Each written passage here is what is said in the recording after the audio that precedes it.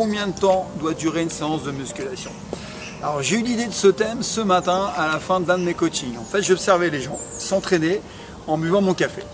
Je me suis rendu compte qu'il y a vraiment tous les types de training alors certains s'entraînent 1h30 à 2h en discutant pas mal, je ne vous cache pas, entre les séries, d'autres 30 minutes, d'autres plusieurs heures en travaillant l'ensemble du corps, ce qu'on appelle le full body, et d'autres encore en fait réalisent 20 séries à raison de 5 exercices rien que pour les biceps. Alors oui, l'été approche, on veut des gros bras, des gros biceps secs avec des grosses veines, mais bon, ce qui est marrant, c'est que j'ai coaché deux personnes à raison d'environ 30 minutes chacune, successivement, et que deux jeunes garçons étaient là avant moi et étaient là encore après moi, toujours en train de travailler leurs bras. Cela fait en fait plus d'une heure de training pour les bras et en plus ils n'étaient pas volumineux, ils du genre ectomorphe. Alors je me suis approché d'eux et j'ai demandé pourquoi autant de séries quoi. Alors la réponse a été très claire, on veut des gros bras. C'est notre point faible, si on fait plus de séries on aura des gros bras. Alors ils avaient sur leur portable d'entraînement, j'ai vu en fait un programme style pro du bodybuilding, ce qu'on retrouve sur les sites spécialisés sur internet, et j'ai vite compris qu'en fait ils copiaient le programme des champions.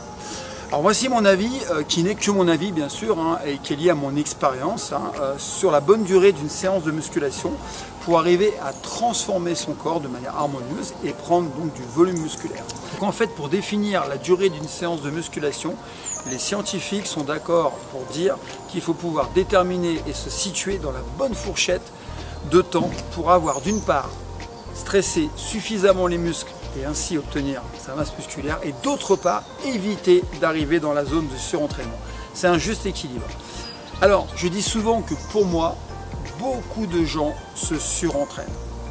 Alors je le vois au quotidien dans les salles de musculation, je le vois dans les gymnases, et imaginez une heure d'exercice de bras pour un ectomorphe, c'est de la folie, c'est insensé.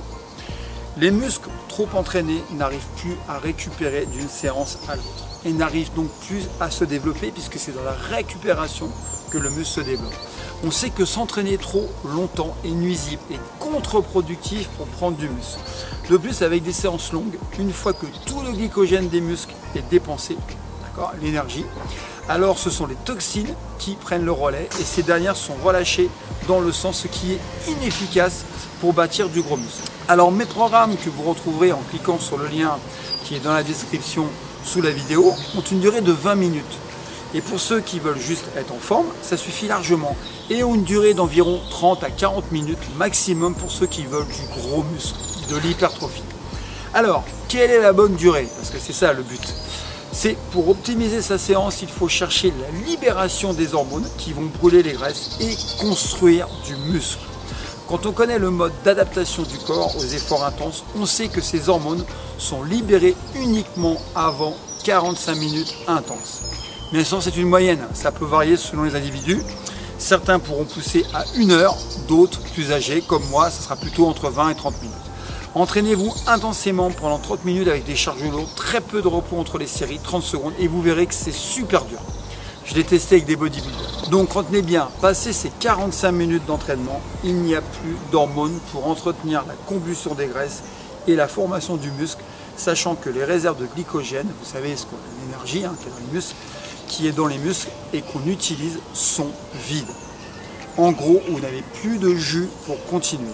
D'ailleurs, si vous observez bien euh, les gens dans les séances, ils ont de la peine. La fin de séance soit difficile. Donc ce n'est pas constructif et surtout pas anabolisant. En fait, ils finissent au mental. Une bonne séance de musculation au réchauffement doit durer donc grand maximum 40-45 minutes. Pour être en intensité maximum, je préconise de se donner plutôt à fond sur une durée relativement courte de 30 à 40 minutes pour utiliser pleinement les capacités de son corps, de son mental et de ses hormones. Plutôt que d'attendre, de traîner et de perdre en intensité et en efficacité. C'est là qu'on commence à parler souvent. Donc les entraînements les plus longs ne sont pas forcément les meilleurs. Ne comparez pas des bodybuilders professionnels avec des gens naturels qui sont amateurs. Donc j'espère que ces informations vous seront utiles, qu'elles vous aideront à ajuster vos entraînements. Ce sont des conseils, ce sont des principes, encore une fois, je n'ai pas la vérité, mais je l'ai testé. Parce que le risque de surentraînement existe, croyez-moi.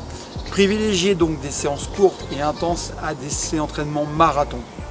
Je vous souhaite de belles séances et encore une fois, si vous souhaitez en savoir plus, voir ce que je dis dans la globalité, hein, bah, vous allez simplement aller voir le guide en cliquant sur le lien qui est dans la description sous la vidéo.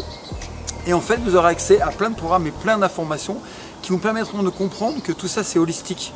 C'est pas seulement que le travail musculaire. Il y a plein de choses, notamment sur la récupération, qui vont vous faire progresser. Je vous rappelle, le travail musculaire, la séance n'est qu'un outil pour anaboliser. Tout va se faire dans la phase de récupération. Et souvent, les gens l'oublient. Voilà, je vous dis à bientôt. C'est terminé. On se retrouvera pour une autre vidéo. Ciao